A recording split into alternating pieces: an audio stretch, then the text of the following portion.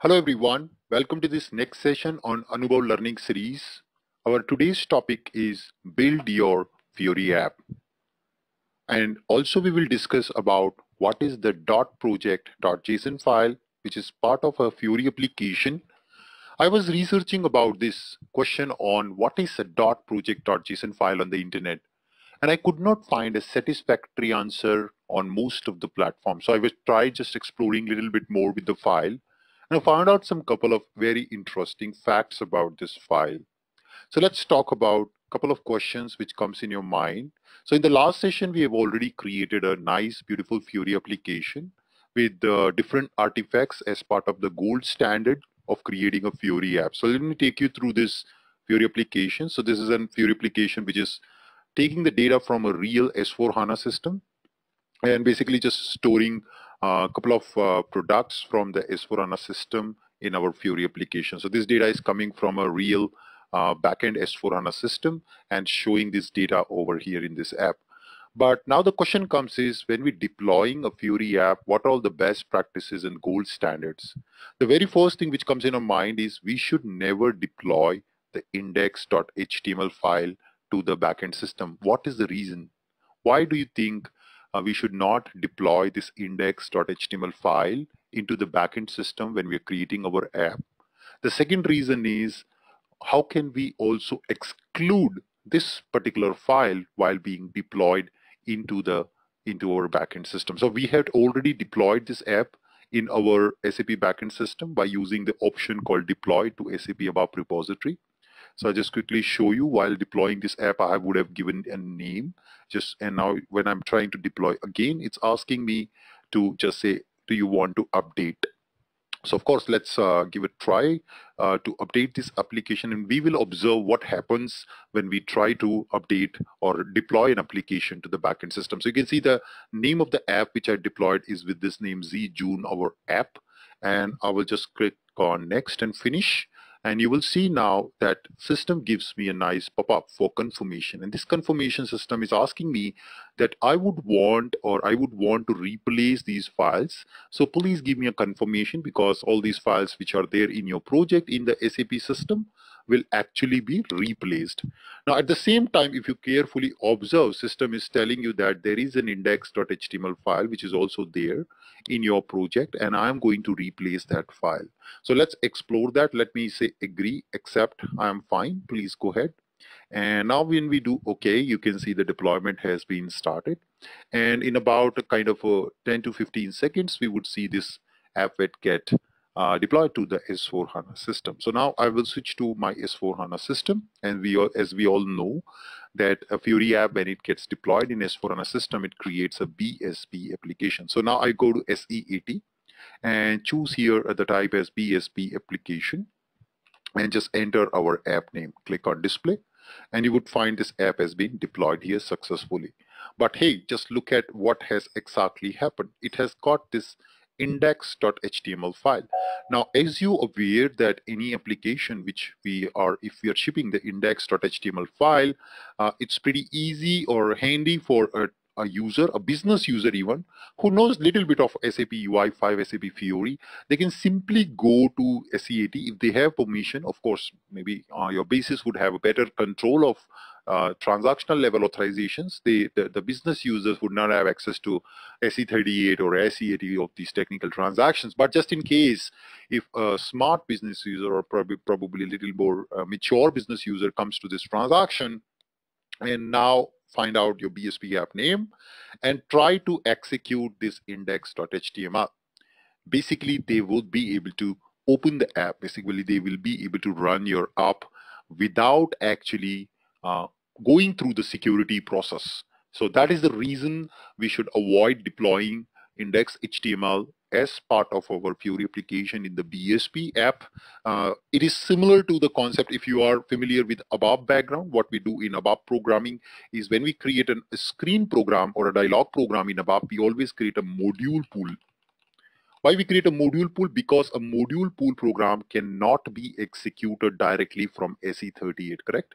So if somebody, a user, business user go to SE38 and try to execute a module pool program, system gives an error. System says you don't, you cannot, you have to go through via transaction code, right? So always they have to go via a transaction code, which is created by us, of course. So your end user always have to access this this dialog program or this screen uh, via the help of the, the transaction code. They cannot access the module pool program from SE38 directly. That's that's actually not permitted.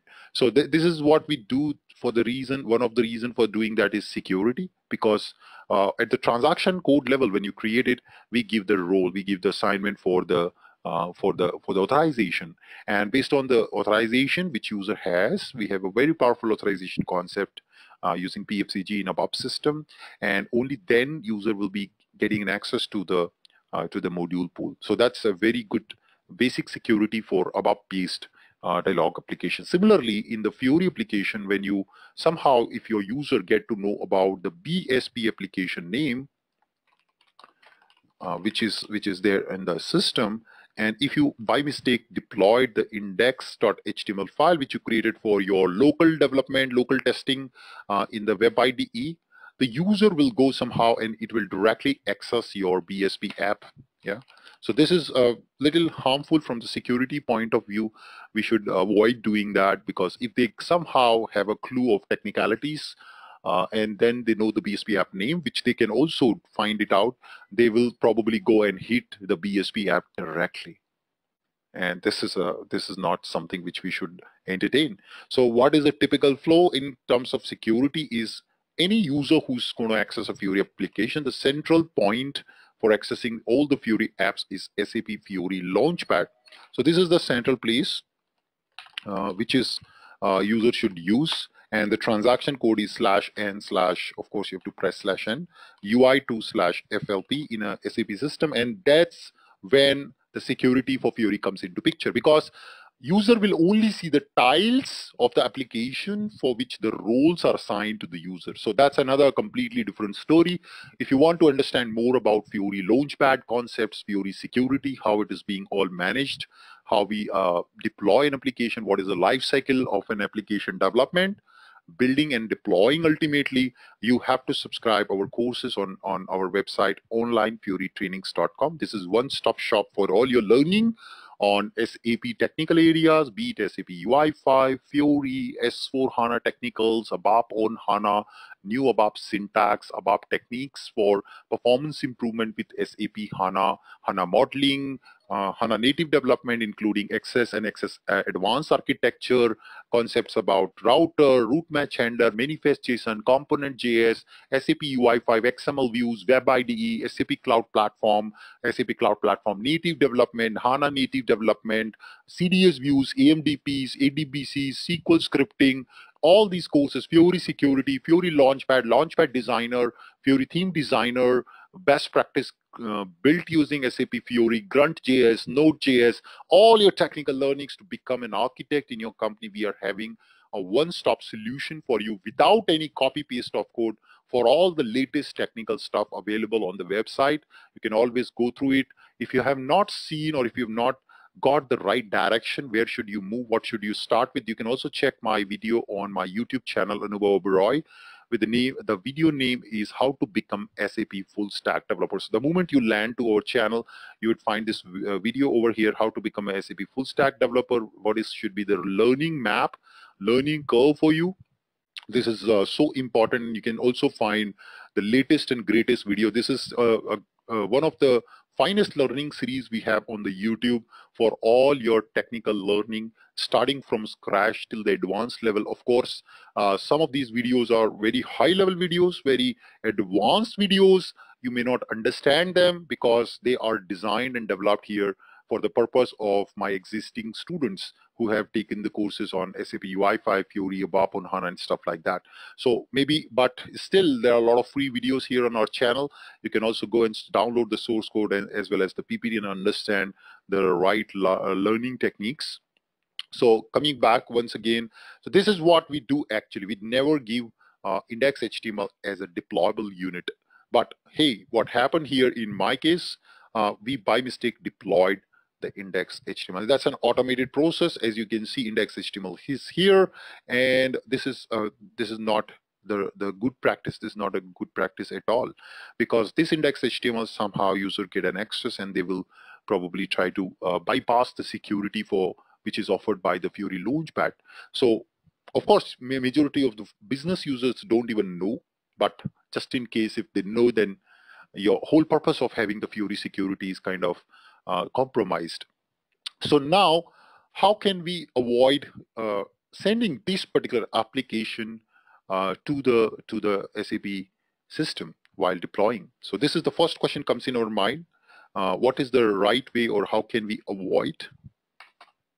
How to avoid uh, loading or basically sending the index HTML file to Fiori system, Fiori front-end system, your S4HANA system during deployment. This is one way. The second question which comes is, Anubhav, I can probably delete this. Yeah, so I may delete this, but guys, then how do you test it locally? Of course, we have a concept of Fiori Launchpad Sandbox, but that you need to configure. But just in case if you want to uh, even go ahead and delete, but I don't think so that makes sense because I mean, it's pretty handy and usable for a developer to use this file to do a local quick testing and just check if the app is qualified for delivery or not. So I don't want to still delete it from my project, but I want a process by which it will just get excluded while getting deployed to my to my SAP system. So that's very important point I want. The second uh, important question which I want to ask you that uh, what are all the gold standard, what are the best practices to deploy your app or deploy our app to SAP system. Yeah. This is the second important question comes in a while. Many of you would have simply right click and say deploy and then you know, that that that's it. The app is there live into the system and then you just create your tile, create your catalog and all that Fiori security, or Fiori administration stuff, and then you're done. But not really uh, a good way, not really a best practice because there are many things which you need to take care. For an instance, the same thing, index HTML. At times, you might have also heard about a feature called component preload.js. What is this file component hyphen preload.js file? Basically, this we also use to improve the performance